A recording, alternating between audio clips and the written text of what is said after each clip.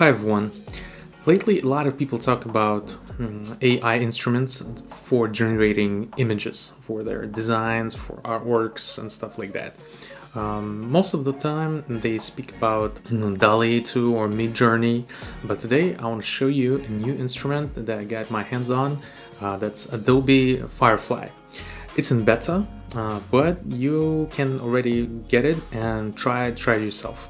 So let's see what's going on there. And don't forget to subscribe to my channel and click that like button. So uh, here you see uh, three uh, things that you can do inside Adobe Firefly.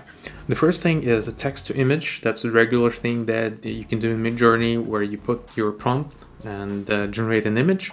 Also, they have an interesting thing that a lot of designers will like, I'm sure, where you can um, put um, different um, patterns uh, inside the text, like a mask mask effect in Photoshop. And also, there's a recolor vectors. That's when you put your SVG file and you can um, make it in different colors, in different color schemes. Personally, uh, I think the the most interesting ones are the text to image and text effects. So let's start with the first one. I click it and we see the gallery here. We see all things that could be generated and that someone generated already. Um, and you see some of them are in like vector graphic and some of them are like super photorealistic.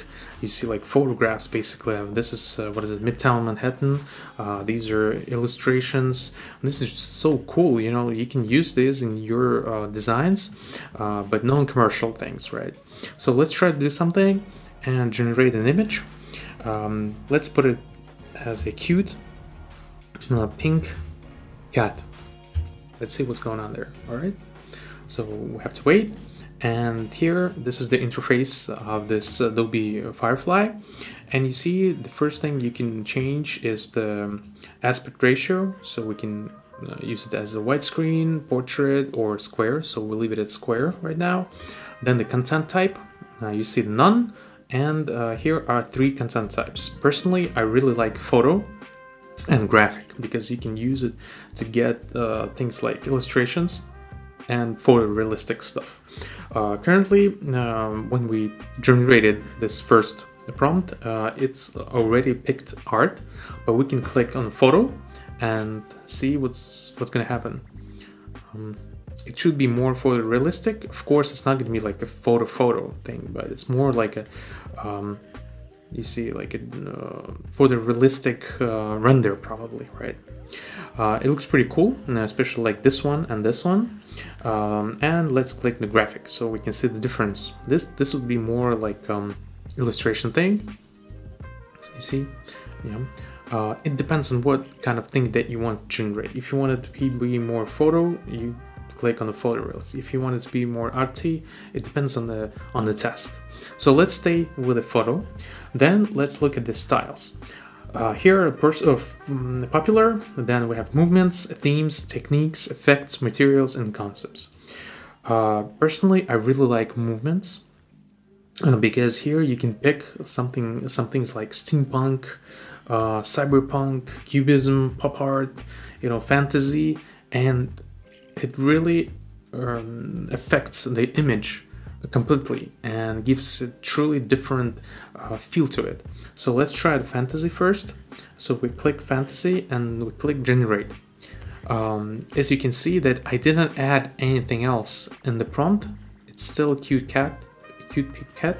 And now you see it's fantasy like, you know, um, really cool, really cool. You see uh, different lighting, you see uh, it has like more pinkish stuff in it.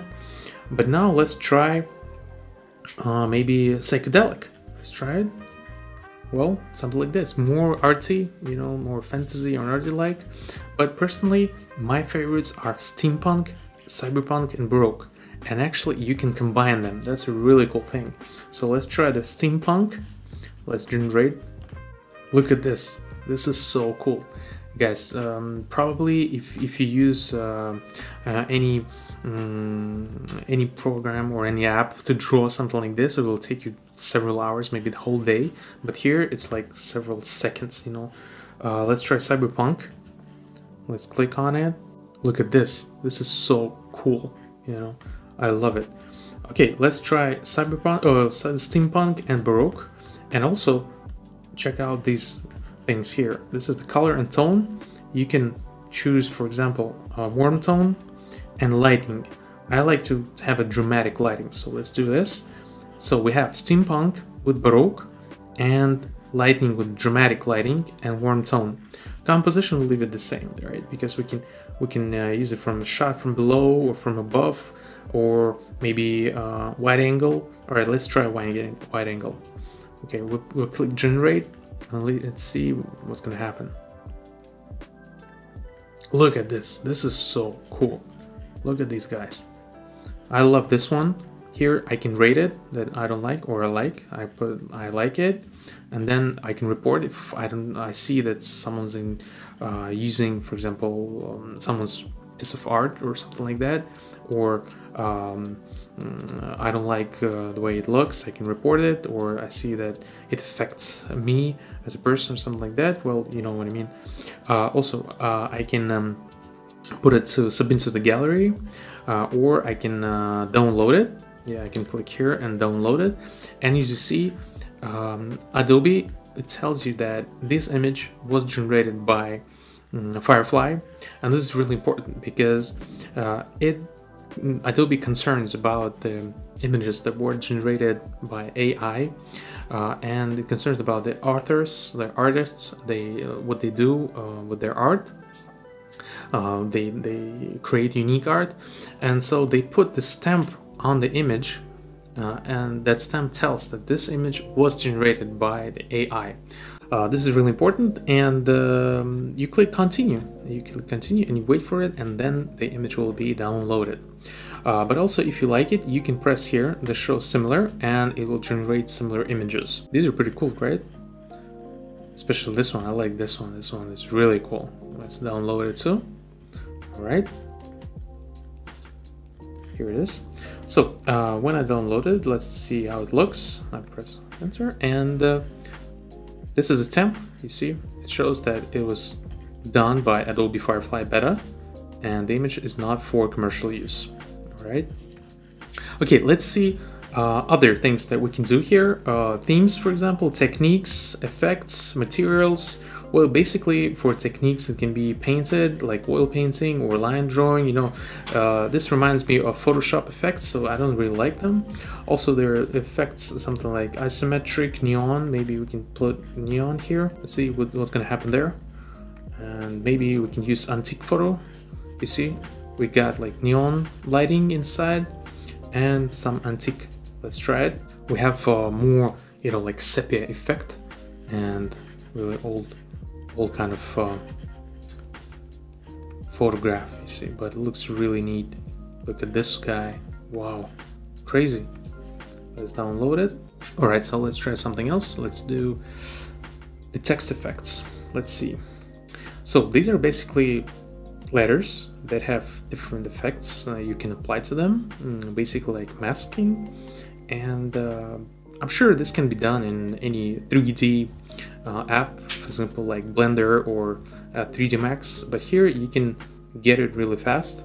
Uh, so here you put your text, for example, hello, and with a capital letter, and now we write a prompt. So we like we we write about the texture and the colors that we want to get these uh, these word in.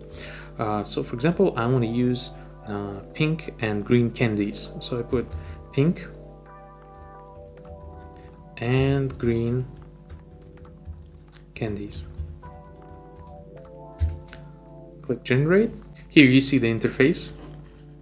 Uh, here are the, the, sample effects. These are already pre-made, like templates. For example, like flowers, wires, balloons, stuff like that. Uh, look at this. Oh my god, this looks really cool. See all the candy stuff. Uh, also, we have uh, text effect fit, uh, tight, medium, and loose. Uh, that basically means how the, the texture will be applied to the letter uh, and it will be like inside the mask or it will stand out more. Personally, I like medium and loose. It looks because it looks more, you know, more 3D and more interesting. Look at this one. Wow, look at this texture. This is crazy guys. This is so cool. And also you can apply different fonts. For example this one poplar. Look at this. Oh my god. This is so crazy. I love it. And let's try this one. I like this font. You know it's more bold. And look look at this. Also we can change the type how it looks we will change the texture and also we can add background for example, we can add this blue background or pink. I like pink actually. Look at this candy. Wow, so nice. So nice. Now we can download it, continue, and download this image. And last but not least, let's try recolored vectors. So we click generate, we upload our SVG file. I use this illustration of this girl on the beach. And now we should write something about um, the color palette that we want. So for example, I will write it, uh, maybe I'll write about um, maybe toxic, toxic pink and blue and click generate. Uh, let's see what happens. Yep, here it is. Well, personally, I don't really like this. Um, because I think it's easier to do it in Photoshop or in Illustrator or in Figma uh, because you know what colors you're gonna use and you understand how you're gonna change the colors of it. But probably it's gonna work uh, good for someone uh, when maybe there will be some, uh, I don't know, maybe more simple images. I don't know, but interesting thing too, you know, like to to recolor it and to make it more like a pop-up effect part. I don't know. We use the Firefly. I'm sure it's a really cool thing to use for generating ideas and to make inspiration for yourself and maybe to use those images in your designs and your um, work. So guys, I hope you like this video. Please don't forget to subscribe, click that like button below, and in the comments, please write topics that you're interested in that you want to talk about. Thanks for watching. See you next time. Bye bye.